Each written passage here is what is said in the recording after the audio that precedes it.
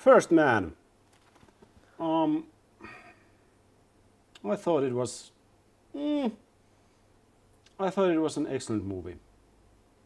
I mean, yeah, I did. Second man, with the second opinion. I, I, I thought that um, I thought that I really was blown away by Whiplash when it came out. Uh, I think that it was one of the best. I think it was definitely one of the best movies of that year, and I think it's it's one of the best movies um, in terms of having a genre that that's because I don't generally like movies about musicians that much. I mean, they're all right, but I, I don't remember seeing many movies about musicians that I've been really blown away by. Were you rushing or were you dragging? I, I don't know. If you deliberately sabotage my band, I will gut you like a pig. My dear God. Are you one of those single tear people? You are a worthless pansy ass who is now weeping and slobbering all over my drum set like a nine year old girl. But that sort of completely turns the genre on its head because it's a sort of a, it's kind of a thriller. Mm. It's a kind of a thriller masked as a, a movie about about a drummer. Yeah. Um, and then I saw La La Land, and I, we've talked about La La Land on, on, on, on our on our episodes as well. Um, not a huge fan of it in terms of of uh, of simply being a movie, but as a musical, I thought it was really inventive, How and I gonna be a thought that revolutionary if uh, it's such it a deserved what it got holding on to in the terms past, of, of, jazz of is about the nominations, future. so on, and so on, and so on. But um, but with First Man,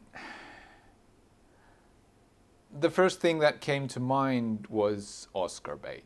It was just here's a movie that's about um, that has a really really good actor in the center who basically holds up the whole what two and a half hours of, of running time, and then there's uh, then there's this grand thing about the human race bettering itself in difficult circumstances. four, and these people three, two, I mean, the whole thing that's been done already by in Apollo Do you 13. question whether the program's worth the cost in money and in lives? You're down here and you look up and you don't think about it too much, but space exploration changes your ah. perception.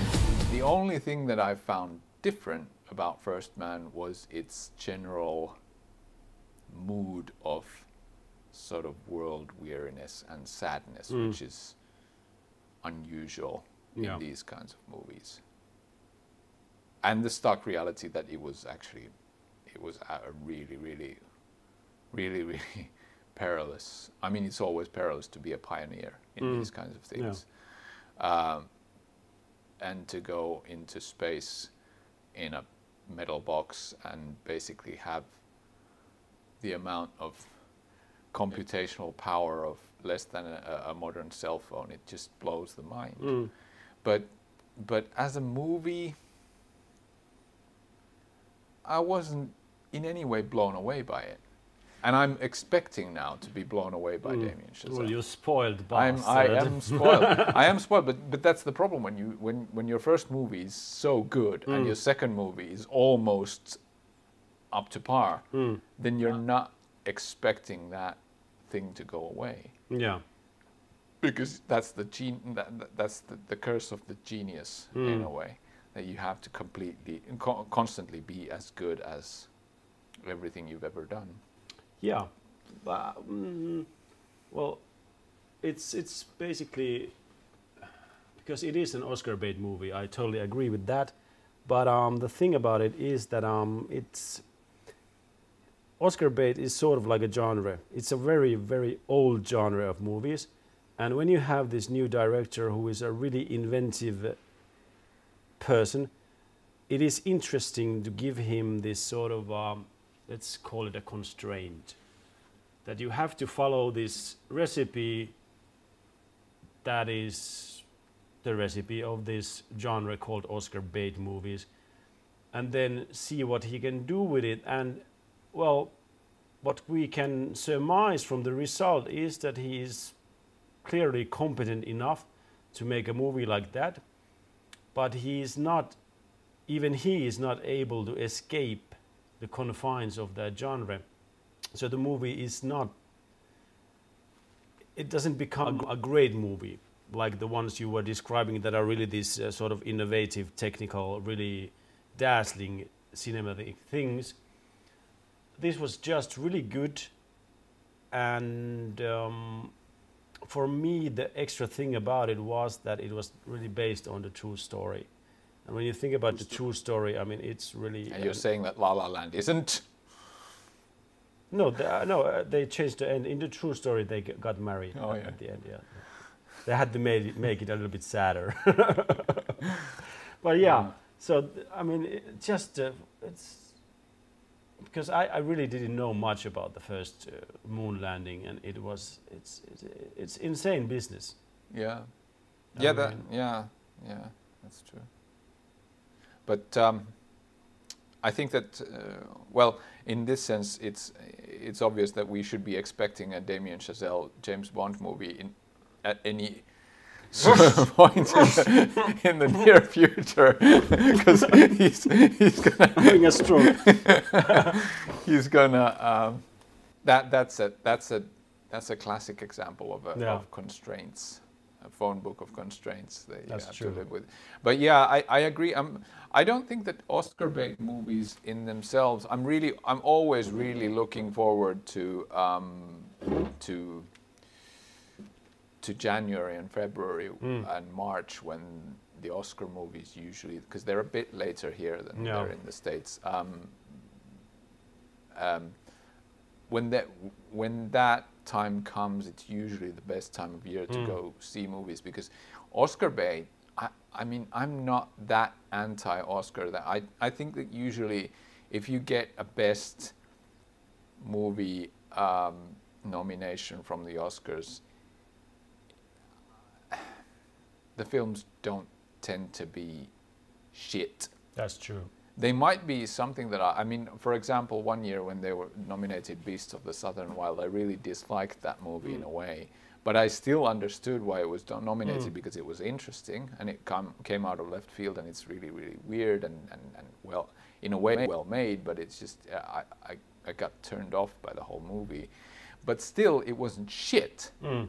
So Oscar bait movies themselves, even the worst kind of Oscar bait movies, which for me tend to be the, the Steven Spielberg kind hmm. that he takes, like The Post was last year. It was a fairly kind of a boring movie hmm. about kind of a boring subject and really sort of Spielbergian in a way that is very efficiently told. And there's there's there's there's the obvious good guys and the obvious bad guys, hmm. and there's you know uh, very clear cut American movie. Even those I tend to like to watch more than the the, the big dumb movie, the, Yeah. the summer blockbuster.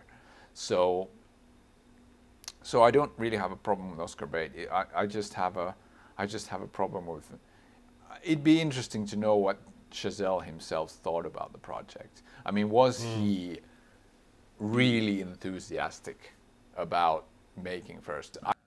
Because because I have a feeling that that he wasn't.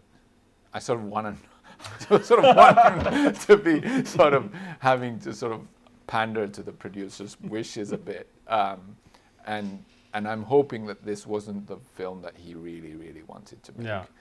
Because if that's true, then he's more boring of a filmmaker than I I gave him credit for.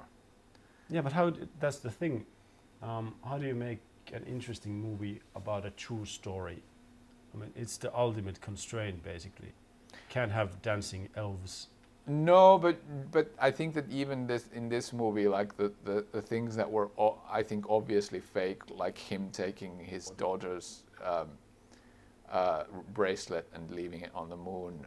I think that was. Would you really fake? I, I was actually thinking about that. Could you really? Would you really fake it? I mean, everybody in the family knows. that, No, he didn't take the bracelet. Oh, come on, man. Then you just show it in the movie. I mean, why would you? It's. I don't. I, I don't think that there's any possibility that that's true. I don't think that there's any possibility because it That is. is a, it's, just dishonest. but it's uh, but that's the whole thing. It's not even when you're based on true events. It's never a documentary. If you're No. making a feature film, you're uh, you you have the right as a filmmaker to take liberties Yeah. within the source material. And I I have no doubt that they've taken other liberties there as well because because um, I'm sure that that the whole vibe around the the moon race wasn't as tragic as it was painted out to be here. I, I think that the obviously there's high stakes and obviously people get killed and so on, but these people have are, are in it to win it in a kind of way, and and I think that that That's Even- actually that's a good point. yeah. Yeah, you've seen the the right stuff, the movie. Have you seen it? The- i- It's been so long, I hardly remember anything yeah, about the movie. Me, I haven't seen it in a long time either. But what I do remember from the movie is that the uh, people depicted in that movie were really these daredevils. Yeah. Like they were really in it for the basically in it to win it. They were really doing in, insane, impossible things. Yeah, yeah, you have to be. Yeah. I mean, the, the pilots that actually have to, like, like there was this scene in, in, in First Man when he, Mm. he has to eject from the, Yeah. the, the sort of experimental plane, and it's Mm. that's completely insane. I mean, to go do something like that, you, that you really have to be prepared to not come back. Yeah. You have to be the coolest, coolest motherfucker in the room. I mean, really, it's insane. Yeah, and especially for, it's especially I have a interesting. panic attack in the library. So yeah, but it's it's especially interesting in, in, in contrast to the time where to be sort of successful in that way, you had to be a family man as well. Yeah. Uh, that, that, that there's something there was something about the 50s and 60s, the core family values that were Mm, yeah. there. That you even with those daredevil pilots, they usually had a family. Yeah. And having a family in that kind of situation, that, Mm. that I mean, the people who the the the, the spouses, Yeah. what they had have to go through to be with somebody who wants to go to the moon inside a Mm. tin box. There's It- this line of dialogue in the movie when they were talking about it. Um, do you remember the s- two of these wives were talking about the lives that they had chosen with these men, and then the other woman said about her friend that had married a dentist, and now had been calls her every month to tell her that she wants a divorce. So basically, they kind of I can understand the allure of the lifestyle of living with someone who is doing extraordinary things, even though they are dangerous. Yeah, yeah, yeah. That's true.